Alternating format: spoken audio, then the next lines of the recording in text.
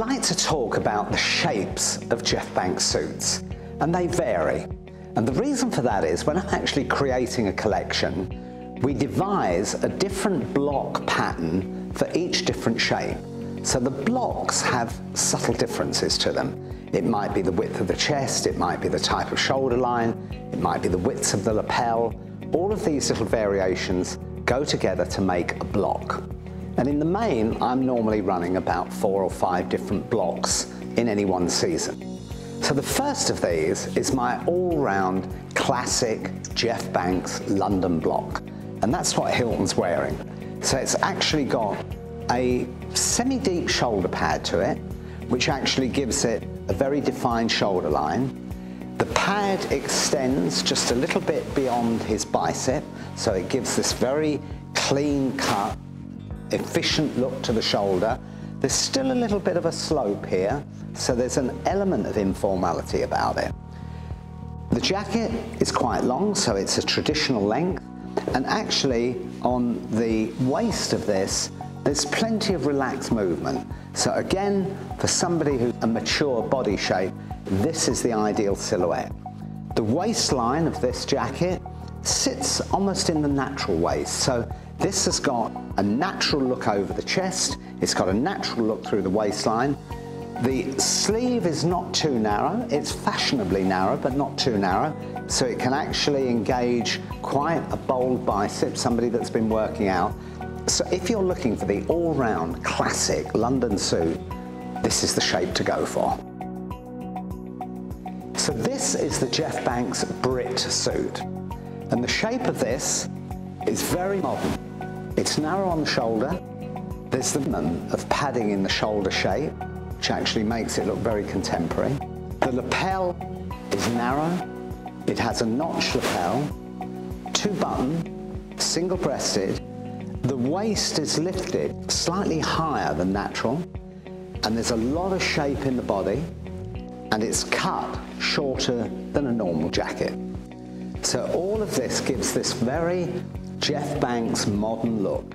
It's based on the modernist movement of the late 1960s when jazz was at the era of the day and everybody wore suits of this kind of shape.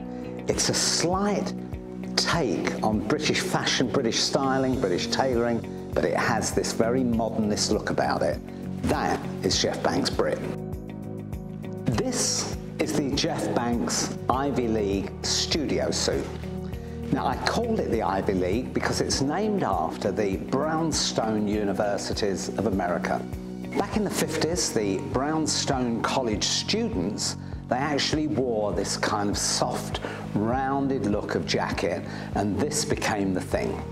So here, we've actually got very little shoulder pad, which gives this really nice, easy shoulder to this particular suit jacket. The lapels are different shapes, some with a peak lapel, some with just a notch. This one is two buttons, single breasted.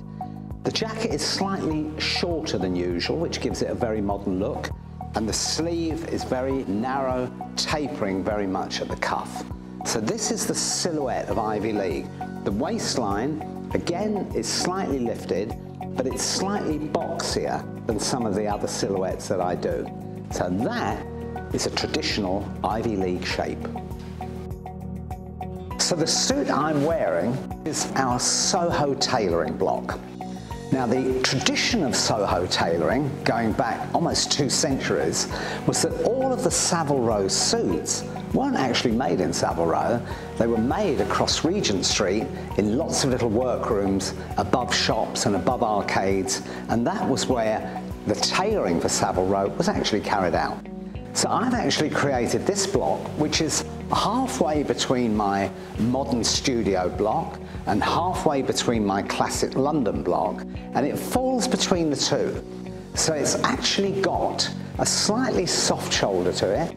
There is some shoulder pad. The shoulder is slightly wider than my classic block, so it's got a very relaxed feel about it. The waist falls in the natural waist point. There's roominess in the jacket, so it actually is a very comfortable suit to wear.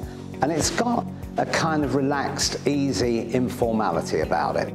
This is one all to itself if you're looking for that slightly informal, relaxed suit. This is Soho Tailoring.